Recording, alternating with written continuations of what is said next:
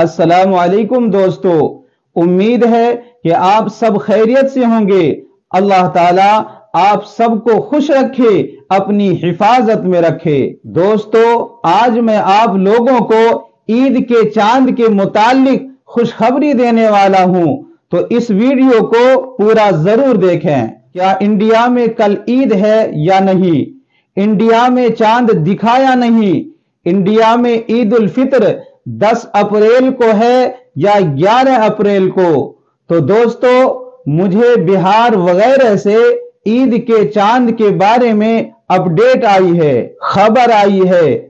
کیونکہ بہار میں راجستھان سے تقریباً آدھا گھنٹہ پہلے سورج غروب ہو جاتا ہے۔ تو مجھے خبر یہ ملی ہے کہ بہار وغیرہ میں آج نو اپریل دو ہزار چوبیس کو چاند نظر نہیں آیا ہے۔ جی ہاں دوستو، واقعی ہمارے لیے یہ بہت بڑی خوشخبری ہے۔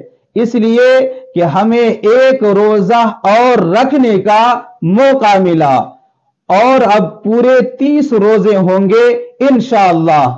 لہذا بہار وغیرہ میں عید الفطر کی نماز گیارہ اپریل کو ادا کی جائے گی۔ پھر بھی آپ حضرات اپنے علاقے میں چاند دیکھنے کا اہتمام کریں، چاند دیکھیں، چاند دیکھ کر عید منائیں۔ دعاؤں میں یاد رکھیں، اس ویڈیو کو زیادہ سے زیادہ لوگوں تک شیئر کر دیں۔ السلام علیکم ورحمۃ اللہ وبرکاتہ۔